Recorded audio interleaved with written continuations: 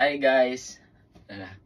Hi guys, get ready with me today. So, ngayon nakasuot tayo ng heat tech na heat tech na something.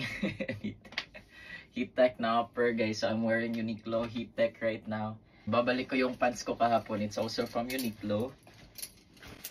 Everyday winter.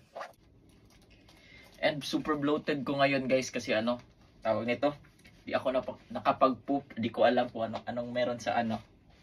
So, let's start off with this winter hoodie. So, yung ano dito guys, yung temperature ngayon is negative 5 degrees so it's gonna be very cold. So, kailangan nating magsuot ng pang cold din. Ayan guys. This is our last patong. Ito siya guys.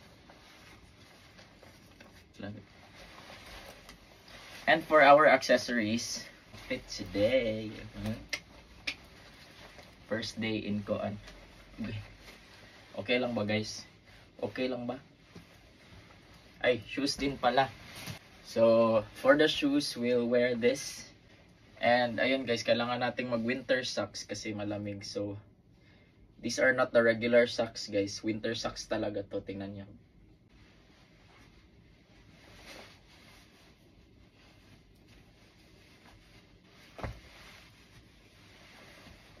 Ayan na guys.